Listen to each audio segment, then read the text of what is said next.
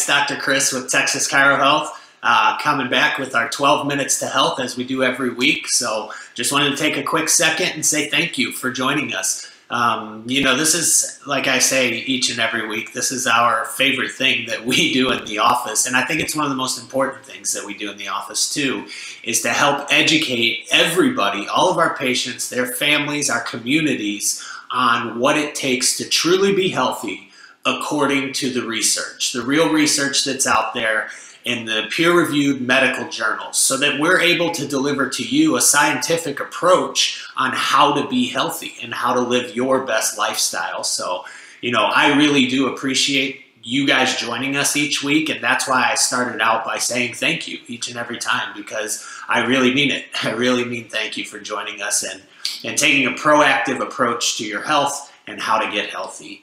Um, you know, we do this every single Tuesday in our office at 5:15. I encourage everybody to get into the office because it makes a big difference to be there in front of the doctors to see what's going on in the clinic, uh, to actually grab and hold the research and be able to read through it and take it home yourself um, and to get your questions answered. The doctors are there for you, and I know that in 12 minutes there's a lot of questions that pop up. So uh, get into the office Tuesday nights, 5:15. We have healthy snacks, refreshments, green smoothies, all kinds of stuff for you guys. Um, but like I said, most important thing is you can get your questions answered and meet the doctors. So come on in. And if you ever want to do this where you work or something like that, we also get out into the community all the time. We'll bring you a good, healthy lunch and just do a little 15 minute presentation, you know, to where we can give you the 12 minutes to health, but also get your questions answered for you, your coworkers, and your friends and family. So take advantage of that stuff. Get a hold of us. Let us know if that's something you'd like to do.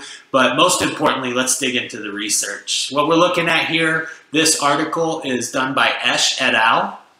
And it deals with stress and cardiovascular disease, right? I don't think it's a secret that stress is hard on our body, that it affects our health, that it affects our cardiovascular system, um, our immune system, it affects everything. Stress is a big deal. It's why we're always talking about, you know, yes, you need to eat the right stuff and you need to exercise, but we also have to be able to manage our stress. And that's what this article looks at. It looks at cardiovascular disease in particular. It touches on the immune system at the end just a bit, which we'll talk about. But it's looking at stress, isolated, just stress, and how that affects your cardiovascular system. So, um, you know, like I said, it's no secret. We use the common phrase all the time, right? You're going to give yourself a heart attack. Settle down. Quit stressing out. We understand that stress is not good on the heart and the cardiovascular system. Um, but a lot of times we don't understand why or how that happens. One of the big things that we fall into is we blame a lot of it on genetics. We blame all of it on genetics, right? Well, my dad had heart disease and his dad had heart disease, and I'm just bound to have heart disease. And I don't think that's necessarily the case. Um, and the research agrees with me. I'm not saying that there's no genetic component at all because I think there is, right? I think there is a genetic component to it. But what is bigger than that is what we call epigenetics, right? What kind of environment are we surrounding ourselves in? Do we eat like our dad who ate like his dad? Do we exercise like our dad? I mean, look at all of the habits that we form. Do we handle stress the same way? Do we sit the same way, walk the same way, talk the same way? That's all environmental. We learn those behaviors from our parents and their parents and their parents and their parents, right? And a lot of times we'll confuse that with genetics. And that becomes an issue because we feel like we lose control and we, we have no control over our own health. And that's just not the case. We do have control over our own health. Yes, there's a genetic component to it, but those genes don't have to be activated at certain levels if we take care of our bodies correctly. A lot of the stuff that we see, they didn't see back when we were, you know, our Paleolithic ancestors or um, as we were, um, you know, even a couple generations ago. You don't you don't see as much of the disease because we we moved more. We had less to stress about. We had we managed our stress better. Um, we were a I guess a tougher population as we were coming up, right? Things have gotten easier through technology and things like that, but it's also been detrimental to our health. So those are some of the things we're going to look at here tonight um, as we look at this article on stress and the cardiovascular disease. So the article started out talking about balance. Balance is the key in stress, and balance is the key in everything in life, right? through an extremely complicated equilibrium called homeostasis, which I talk about all the time, right? That's our body being at a level where we're healthy and our cells are functioning correctly and everything is moving along as it should. All living organisms maintain their survival in the face of internal and external stimuli. So basically what that means is stuff's going to happen. There's going to be stress. There's going to be stuff from the outside that we have to deal with. There's stuff going on inside that we have to deal with. We put the wrong food into our body. We create situations. We don't exercise enough. You know, all the stuff that I talk about creates rocks in our backpack. And this is the example that we use in the office, created by Dr. James Chestnut um, and innate choice in the wellness practice, right? It's a great example, and that's why we always use it with our patients because it's easy to understand. You have this guy here who's trying to stay afloat, and he's wearing a backpack, and the rocks in his backpack represent stressors in his life. Now that could be, you know, eating a slice of pizza that causes a stressor. That's gonna that adds a rock to the backpack, right? Side effects from medications, rock in the backpack. You have stressful events in life, chronic stressful events. Those are rocks in the backpack. And that's what this article is really looking at is the stress rock that's in your backpack. How heavy is it? And how much is it affecting us? How much is it pulling us down when it comes to cardiovascular disease? So, the goal for us by doing these talks, by educating our patients, by looking into the research, is to get these rocks out of our backpack so that we can stay afloat or stay at homeostasis. So that's um, you know homeostasis can be a confusing word, and that's why I like this example of rocks in the backpack so much because it makes it very clear that if we remove rocks, we're floating better. It's easier for us to float and stay healthy and stay at homeostasis, and that's again what this article is looking at. One, one of the biggest things is looking at the type of stress and how that's affecting our body, right? Because some stresses can be good. As um, as human beings, we are designed to survive. Okay? And really, all organisms are designed to survive. That's the main goal survive and reproduce.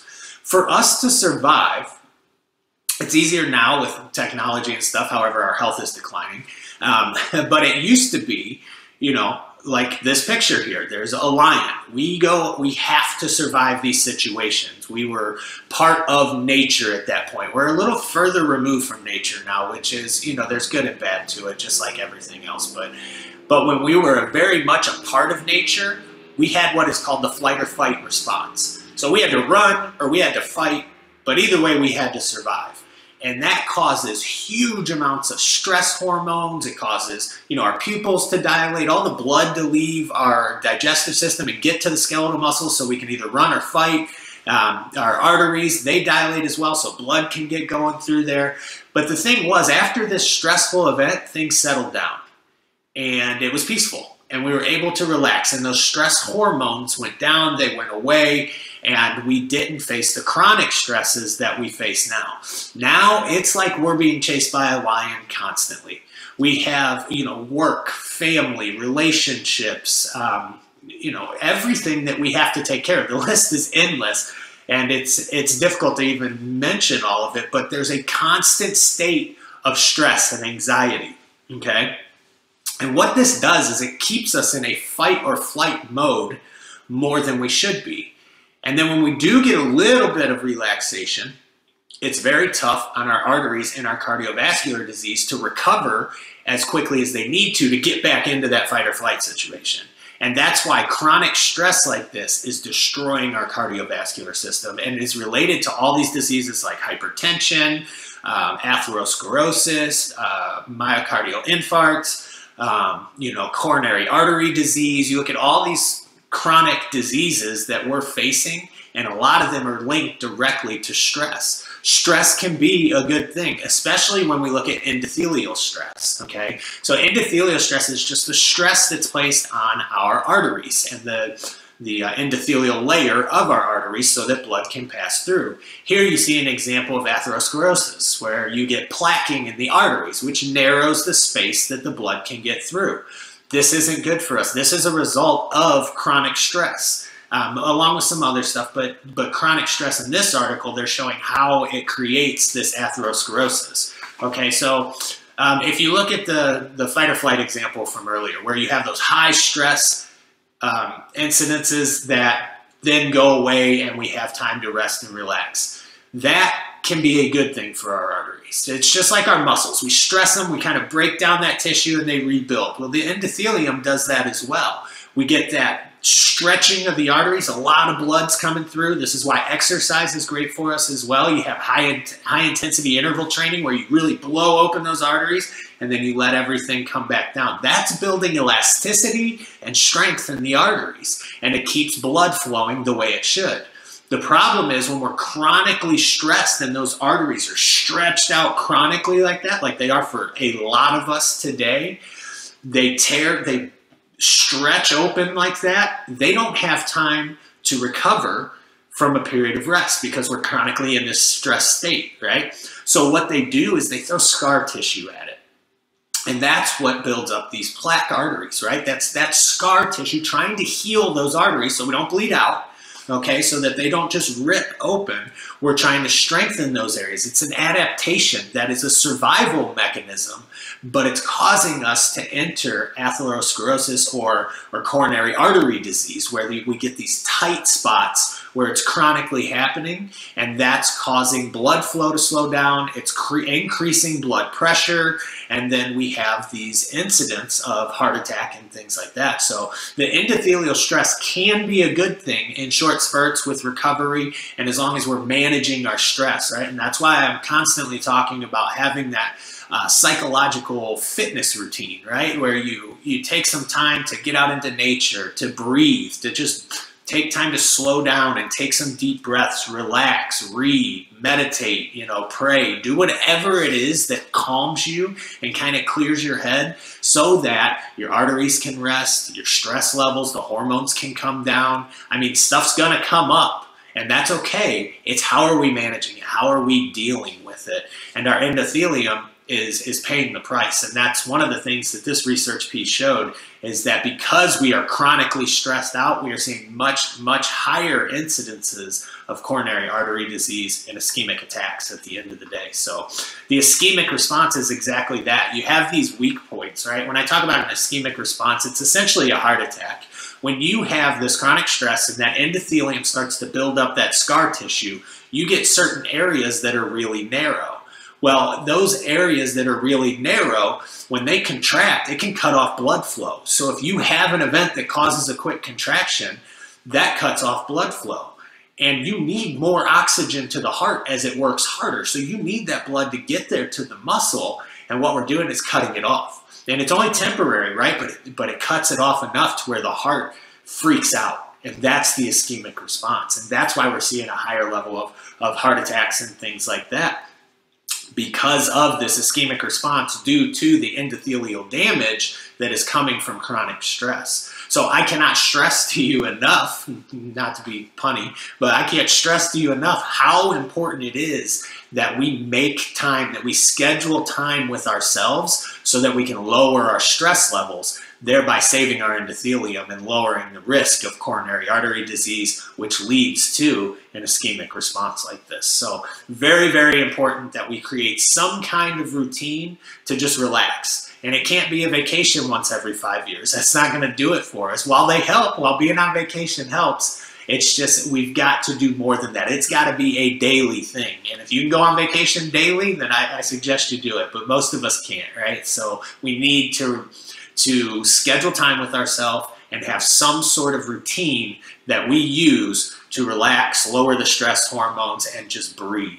Okay, so um, reading, writing, meditating, all the things that I've talked about are very beneficial in doing this. So start to develop your own routine. If you need help with that, we are here for you. It's what we do with all of our patients. So in summary, stress plays a significant role in susceptibility, progress, and outcome of cardiovascular disease. I don't think that that's a surprise to anyone. It's just the mechanisms of how, which we've been discussing. So in particular, stress may cause or exacerbate disease processes depending on the type of stressor involved and or the duration of its influence on an organism.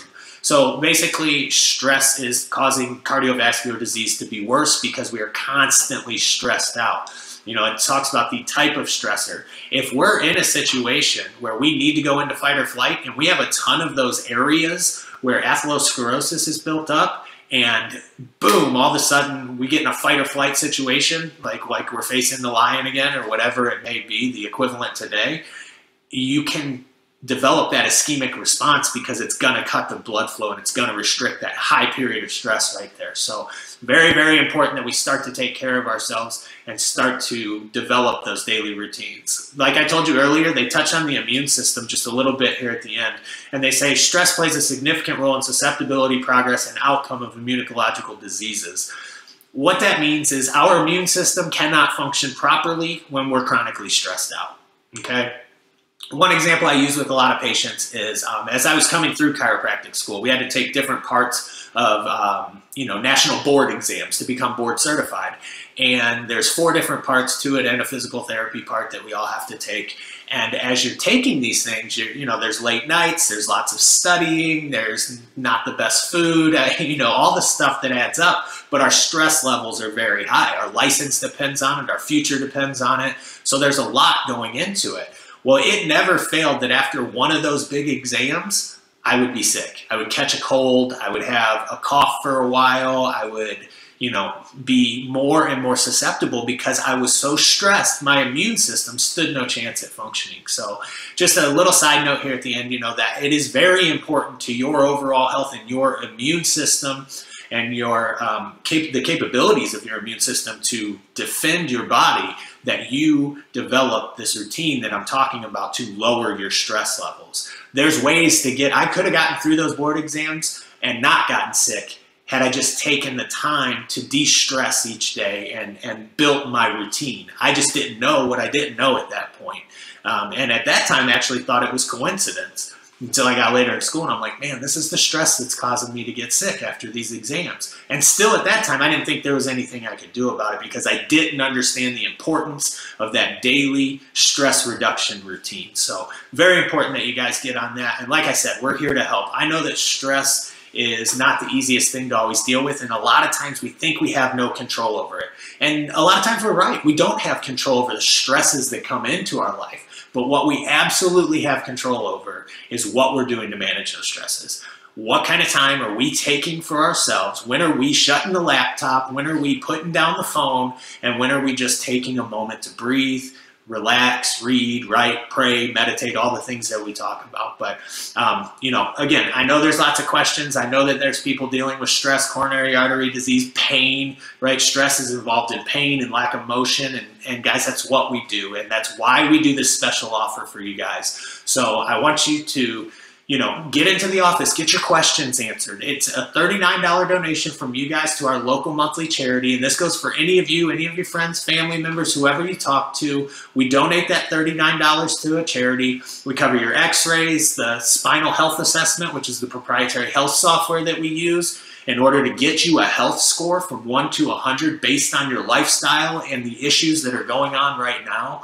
Um, and that allows us, along with the exam, x rays, and consultation, to put together a plan to help you guys out. And we've knocked this all the way down to that $39 donation because we, we want the excuses to be gone. You guys need to, we got to start taking care of ourselves. All right. And for just $39, we can at least figure out what to do, how to go about doing that. And, uh, and the benefits that that can have for you. So give us a call, get into the office, join us on Tuesday nights at 5.15. Um, and as always, guys, I appreciate you watching the 12 Minutes to Health. Thanks.